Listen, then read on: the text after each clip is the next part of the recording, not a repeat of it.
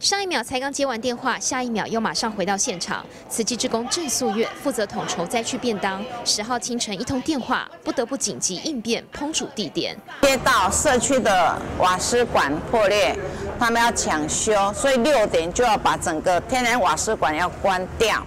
那关掉的话，务必我们的金丝堂就没有瓦斯来源，可以去料理这些的餐盒。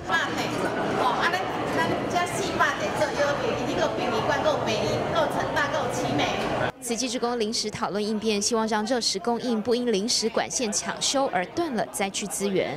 紧急接到电话来，我们池中厨房来来协助哦，这个紧急供餐的的的这个情况。阿长载我来，哦，我是嘛就欢喜，阿你无白行的啦。我背出来了。慈济职工梁玉美尽管扑空前往原地点，还是愿意转换动线，照样付出。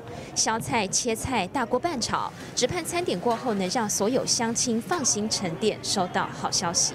大新闻真善美职工廖宠冠、王凤香台南报道。